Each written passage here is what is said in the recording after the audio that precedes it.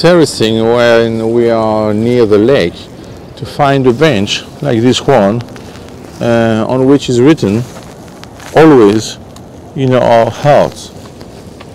Why? Because for me it's um, a small piece of humanity inside beauty and for that reason it's important to see the details to understand the big picture which is the picture of humanity.